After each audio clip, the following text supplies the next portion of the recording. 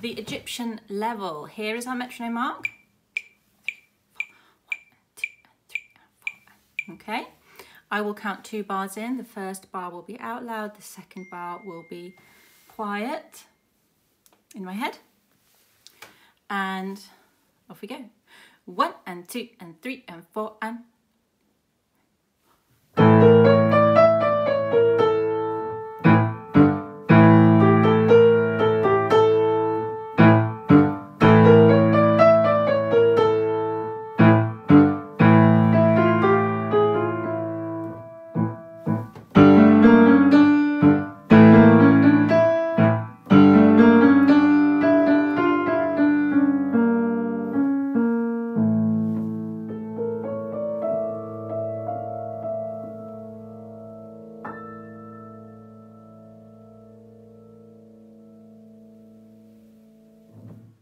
I might have gone off camera up there, but you know what we're playing at the top. These are just for reference, okay?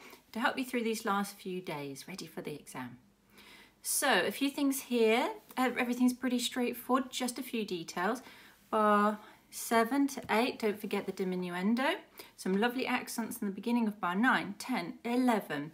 Then at the end we've got a few bits and pieces to do. So I would write at the top of your music in pencil Get the foot ready. Right foot, right pedal, heel on the floor. The weight of the leg goes through the heel into the floor. You don't lift the heel.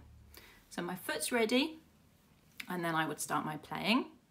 You might need to adjust your chair so that you're sitting comfortably, taking the chair back normally. All right? Then uh, let's play from bar nine, and we're going to be looking at the, no, we'll play from the beginning. We'll play from the beginning, just talk through a few of these details. Ready? Check that speed, two, three, four. A one, two, three, four. Shape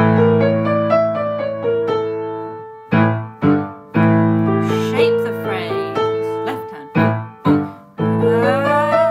More sound as you get to the top of that phrase.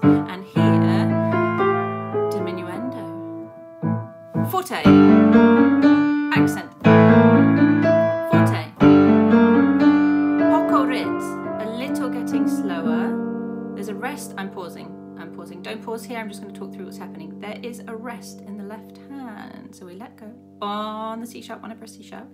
Okay, but without this massive slowing down. Just explaining. Now, pedal goes down when I play the next notes in the bar a tempo. A tempo means resume your original speed. So then I have in my head counting one and two and three and four and one and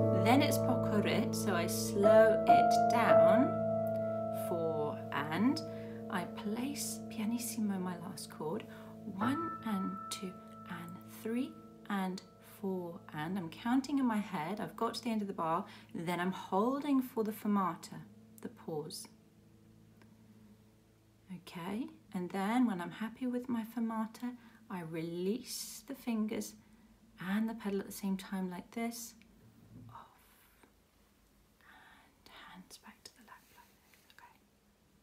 Okay, All right.